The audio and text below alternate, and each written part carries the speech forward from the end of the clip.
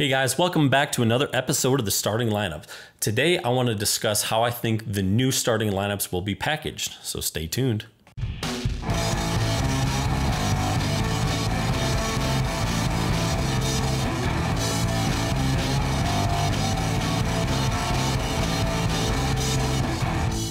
Hey everyone, we're getting closer every day to the release of the new starting lineups. Now, one thing that has been on my mind is how these are going to be packaged. Now, what I want to do is I kind of want to take a look at what they've done in the past and then also some of their newer product lines, how they've been packaging those products. So I think that'll really give us some good insight on what we can expect. So throughout the life of the first generation starting lineup, that's kind of what I'm calling it, uh, the packaging stayed pretty much the same. I mean, you had the uh, cardboard backing, and then you had the plastic bubble that protected the figurine as well as the card.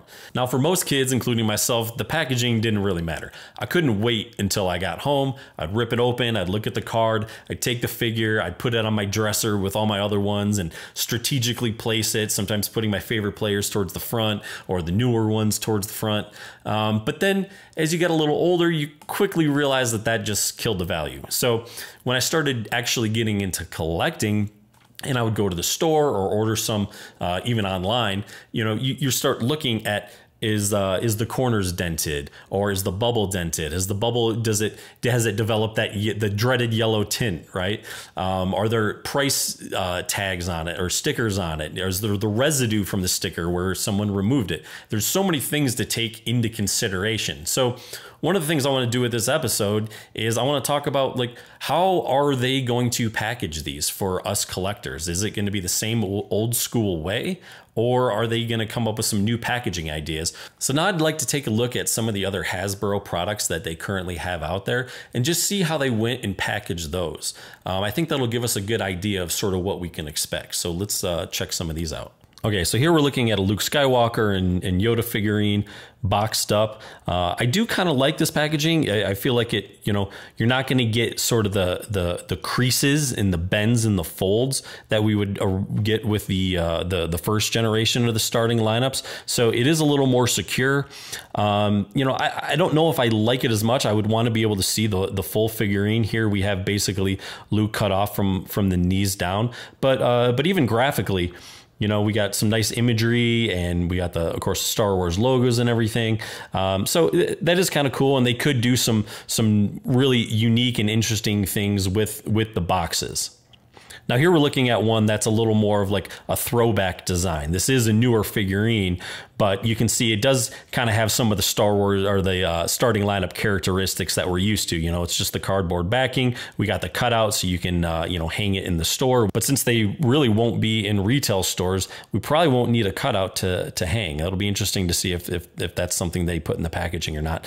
Uh, and then, you know, we have the plastic bubble protecting the, the character.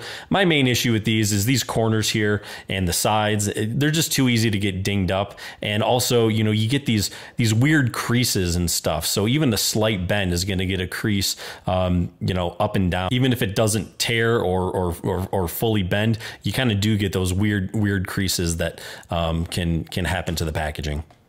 Now here's here's now here's a Ghostbuster one that is, you know, I, I, the character I don't think is going to look like this as I kind of showed in my previous video. This one's a little too cartoony.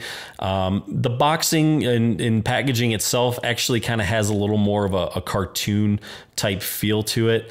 Um, again, I don't like that the characters kind of kind of half cut off. That's not something that I really like. I'm going to want to see like the, the the full character in their pose. Um, but you know, again, we do have the plastic bubble, and you know, we they're they're continuing to do these these sort of the the cardboard backing um, with the hook to to hang in the retail store. So they could go this route. I really hope that they don't, um, especially since it doesn't sound like these are going to be hitting the retail stores at least right away. So maybe some sort of a, a box is really, really the way to go here. Now here's kind of the updated one, and you do see it does come with the hook, but I like this packaging a lot more because you can see the whole character. You can see all the items that come along with the character. Now, the configuration of the box would probably look a little different for a starting lineup since these are going to be coming with trading cards. Uh, you know, Panini is a, I guess, a co-brander. Is that probably what you what they what they're calling themselves? Um, so the the the actual form of it would would look a little different. But I do like sort of the box look, and I think it would be you know really cool. They just make it wider. You put the card next to it. Uh, so I, I think I would be happy with sort of a sort of a look like this. Now, the last one I'll show is uh, Sergeant Slaughter from G.I. Joe. This is the uh, classified series.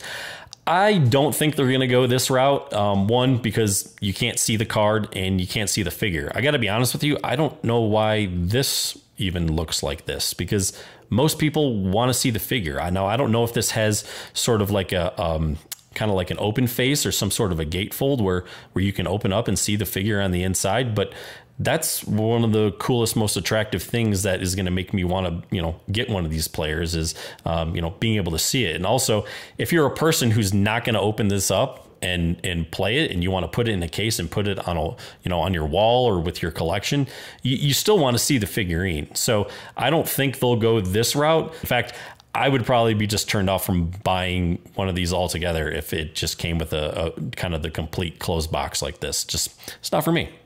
So hopefully you guys found this episode helpful, and if not helpful, at least hopefully it was entertaining. But I just wanted to give a little insight in sort of like what I thought you know the packaging and everything could be like. I'm really hoping that they they do a good job with this because I know people who are collectors, you know, and want to get these things graded. Those are things that that are going to be very important to us. So uh, we're going to have more episodes on the way as soon as more news gets announced. I'm probably going to do some other fun episodes, just talking about what players are going to be released, uh, when we hopefully could expect some of the uh, NFL, maybe the NHL, and Major League Baseball uh, starting lineups to to hit the market. So Please give me a like and subscribe. Stay tuned, and I'll be back soon. Peace.